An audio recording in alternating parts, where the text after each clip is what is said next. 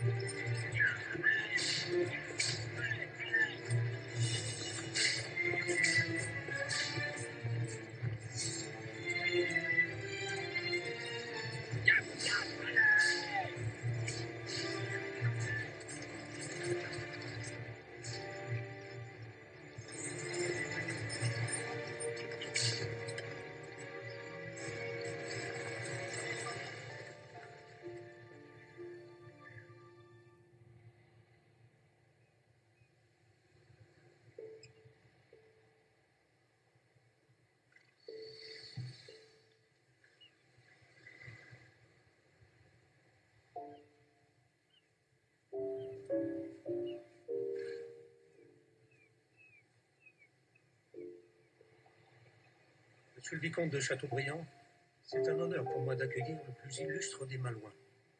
Je vous remercie, monsieur le maire.